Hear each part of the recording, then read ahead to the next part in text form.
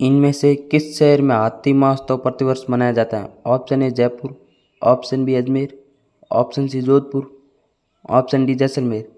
इसका right answer option A Jaipur.